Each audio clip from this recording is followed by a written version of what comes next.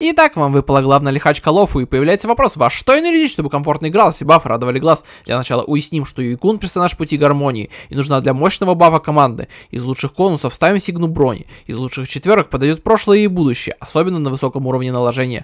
Конус с БП также отлично поможет нам. Воспоминания о прошлом тоже можно ставить. Если у вас есть вельт, или вы просто хотите поднять мнимый урон команды, можете поставить свидание со звездами. Оба бюджетных варианта на первое время тоже подойдут. Из следов качаем только ульту и навык. Оптимальным выбором на старте станет полный комплект стрелка из-за шикарного бафа скорости. Его в принципе можно и оставить в поздней игре. Если хотите, можете конечно и мнимый сет дать, но это лишь для урона, не более. Из планарных реликвий ставим живой ванвак или замершая салсота. Броню можно взять на криты, хп или атаку. Сапоги на скорость, в сфере ищем мнимый урон, а веревку обязательно на восстановление делаем вот так вот, вот таким вот образом, и лучшая лисица готова.